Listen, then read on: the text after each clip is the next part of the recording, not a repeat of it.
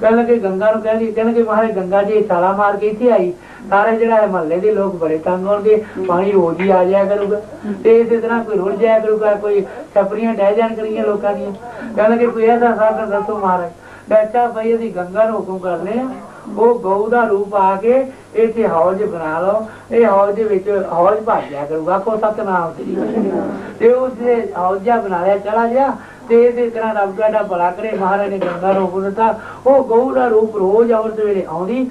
ਉਹ ਹੌਜ ਭਰ ਜਾ ਕਰੇ, ਭਾਈ ਜੈਤ ਨੇ, ਉਹ ਜੈਤੇ ਨੇ ਇਸ਼ਨਾਨ ਕਰ ਲੈਣਾ ਕਰਨਾ। ਇਹ ਤਰ੍ਹਾਂ ਸਤਿਗੁਰੂ ਦੇਵ ਮਹਾਰਾਜ ਜੀ ਤੇਗ ਬਹਾਦਰ ਮਹਾਰਾਜ ਗਏ ਨੇ, ਸਾਰੇ ਸਾਰੇ ਕਹਿਣ ਲੱਗੇ, ਮਹਾਰਾਜ, ਉਹ ਜੈਤ ਜੈਤ ਨਾਮ ਉਹਨੇ ਨਿਯਮ ਕੀਤਾ ਗੰਗਾ ਇਸ਼ਨਾਨ ਕਰਨ ਦਾ। ਉਹ ਉੱਥੇ ਹੀ ਬੈਠਾ ਰਹਿੰਦਾ ਹੈ ਤੇ ਮਹਾਰਾਜ ਉਹ ਨਹੀਂ ਜਾਂਦਾ ਗੰਗਾ ਇਸ਼ਨਾਨ ਕਰਨ। ਤੇ ਉਹਨੂੰ ਫਿਰ ਜਾ ਕੇ ਦਰਸ਼ਨ ਦਿੱਤੇ। ਉਹ ਜੈ, ਭਾਈ ਜੈਤ ਨਾਮ ਇਸੇ ਤਰ੍ਹਾਂ ਰੱਬ ਤੁਹਾਡਾ ਭਲਾ ਕਰੇ। ਕਹਿਣ ਲੱਗੇ ਭਾਈ ਸਿੱਖਾ ਨਿਹਾਲ ਹੋਇਆ ਨਿਹਾਲ ਹੋਇਆ।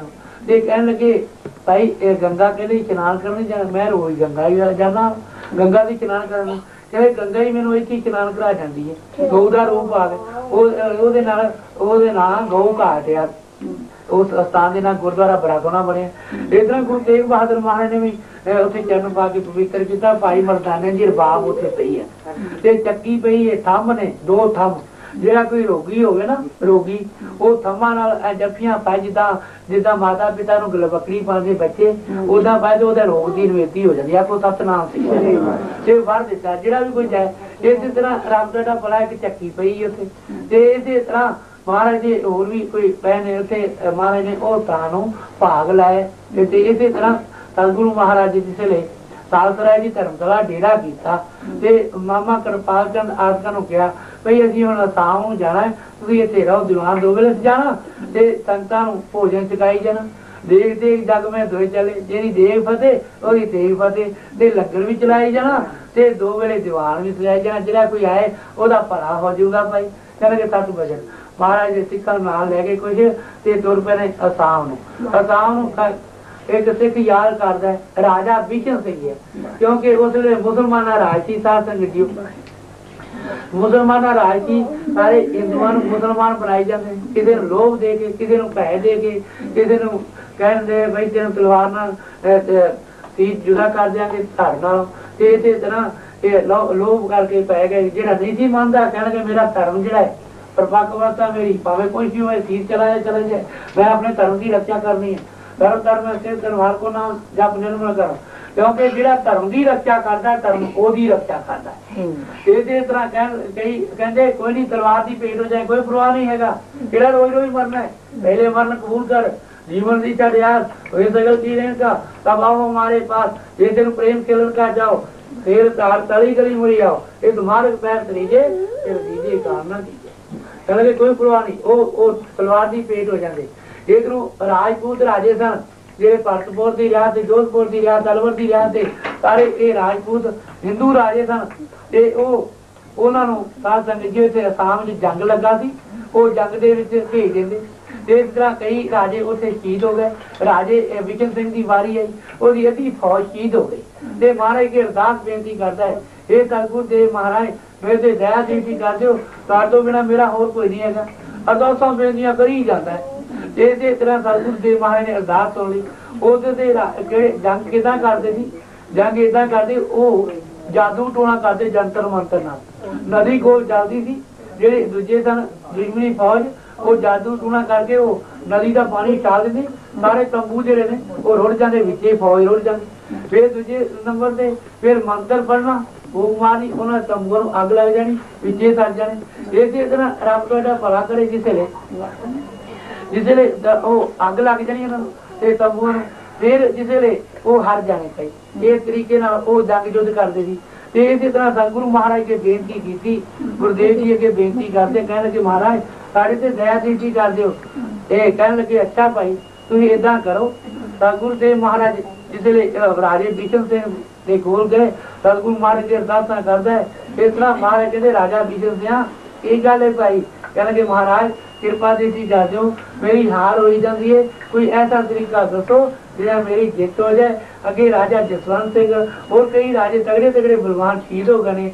ਫੌਜਾਂ ਉਹਨਾਂ ਦੀਆਂ ਹਾਰ ਗਈਆਂ ਨੇ। ਮਾਰੇ ਮੇਰੇ ਤੇ ਦਇਆ ਜੀ ਸੀ ਕਰ ਦਿਓ। ਮੈਂ ਤੇ ਤੁਹਾਡੀ ਹੀ ਕਰਨਾ ਪ੍ਰਭ ਕੀ ਸਰਨ, ਸਗਲ ਭੈ ਲਾਥੇ, ਦੁਖ ਵੇਸੇ ਸੁਖ ਪਾਇਆ। ਜਿਹੜਾ ਪ੍ਰਭੂ ਦੀ ਚਰਨ ਚਲਾ ਜਾਂਦਾ ਹੈ ਉਹ ਪ੍ਰਭੂ ਆਪਣੇ ਭਗਤਾਂ ਦੀ ਆਪ ਹੀ ਰੱਖਿਆ ਕਰਦਾ ਹੈ ਤੇ ਇਸੇ ਤਰ੍ਹਾਂ ਜਿੱਥੋਂ ਜ਼ਿਕਰ ਹੋਏ, ਪਰਮੇਸ਼ਰ ਦਾ ਨਾਮ ਜਪਣਾ ਚਾਹੀਦਾ ਹੈ। ਸਾਰਿਆਂ ਤੋਂ ਸ੍ਰੇਸ਼ਟ ਪਰਮੇਸ਼ਰ ਦਾ ਨਾਮ ਹੈ। ਹਰ ਕੋ ਨਾਮ ਸਦਾ ਸੁਖਦਾਈ ਜਾਂ ਕੋ ਸਿਵਨ ਅਜਾਮਲ ਉਦਰਿਓ ਗਣਕਾ ਹੋਊਗਾ ਭਾਈ।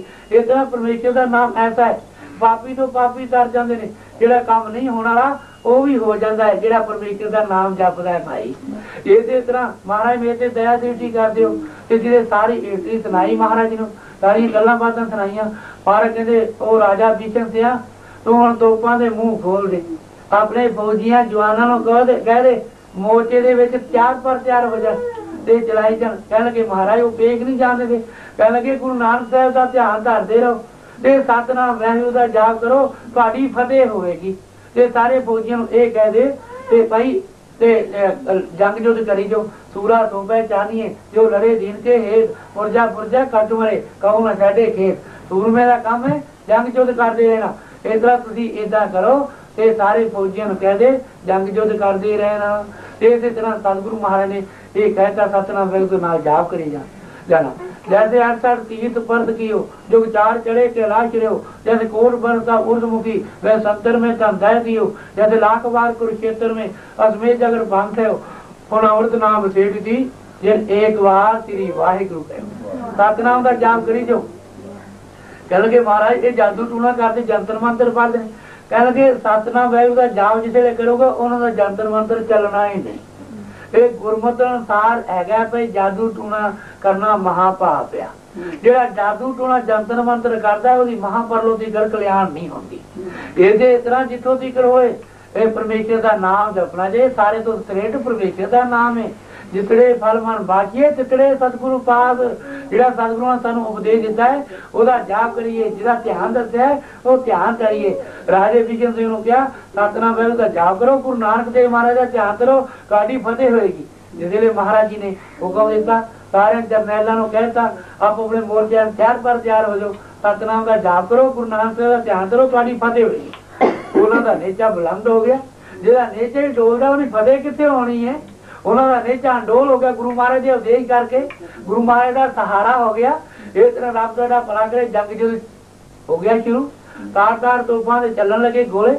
ਤੇ ਇਧਰੋਂ ਇਧਰੋਂ, ਉਹ ਵੀ ਜੰਤਰ ਮੰਤਰ ਕਰਨ ਲੱਗੇ, ਉਹ ਨਦੀ ਛਾਲਣ ਲੱਗੇ, ਜੇ ਨਦੀ ਦੇ ਵਿੱਚੋਂ ਆ ਲੰਘਦੇ ਸੀ, ਉਹ ਵਿੱਚੇ ਉਹ ਡੁੱਬ ਜਾਣ, ਤੇ ਹੋਰ ਨੂੰ ਦੂਜੇ, ਦੂਜੀ ਫੌਜ ਨੂੰ ਰੋੜਦੇ ਸੀ, ਤੇ ਆਪ ਰੁੜ ਜਾਣ, ਆਪ ਡੁੱਬ ਜਾਣ, ਦੂਜੀ ਫੌਜ, ਜੇ ਅੱਗ ਲਾਉਂਦੇ ਸੀ ਜੰਤਰ ਮੰਤਰ ਪੜ ਕੇ, ਤੇ ਗਰ ਕੀ ਕਿਸੇ ਨੇ ਫੂਕ ਮਾਰਦੀ ਜਾਂ ਮੰਤਰ ਪੜ ਕੇ, ਤੇ ਅੱਗ ਲੱਗ ਜਾਂਦੀ ਸੀ ਤੰਬੂਆਂ ਨੂੰ, ਤੇ ਇਸੇ ਤਰ੍ਹਾਂ ਉਹਨਾਂ ਦੇ ਸਰੀਰਾਂ ਨੂੰ ਵੀ ਅੱਗ ਲੱਗ ਜਾਣੀ, ਜਦੋਂ ਸਤਨਾਮ ਦਾ ਜਾਪ ਕਰਨਾ, ਇਹ ਪਰਮੇਸ਼ਰ ਦਾ ਨਾਮ ਸਾਰਿਆਂ ਤੋਂ ਸ੍ਰੇਸ਼ਟ ਭਾਈ, ਤੇ ਇਸੇ ਤਰ੍ਹਾਂ ਕੱਲ ਕੀ ਰੱਬ ਤੁਹਾਡਾ ਭਲਾ ਕਰੇ, ਉਹ ਉਹਨਾਂ ਦੀ ਫਤਿਹ ਹੋਈ। ਤੇ ਇਸ ਤਰ੍ਹਾਂ ਜਦੋਂ ਗੁਰੂ ਹਰਗੋਬਿੰਦ ਸਾਹਿਬ ਮਹਾਰਾਜ ਨਾਨਕ ਮੱਤੇ ਗਏ ਨੇ, ਇੱਕ ਸਿੱਖ ਸੇਵਾ ਯਾਤਰਾ ਕਰਦਾ ਕਰਦਾ ਚਲਾ ਗਿਆ ਨਾਨਕ ਮੱਤੇ ਨਾਨਕ ਮੱਤੇ ਜਿੱਥੇ ਗਏ ਰੱਬ ਤੁਹਾਡਾ ਭਲਾ ਕਰੇ ਉਹ ਸਿੱਖ ਸੇਵਾ ਕਰਨ ਲੱਗਾ। ਉਹ ਪਿੱਪਲ ਸੀ ਮਹਾਰਾਜ ਦੇ ਹੱਥਾਂ ਦਾ।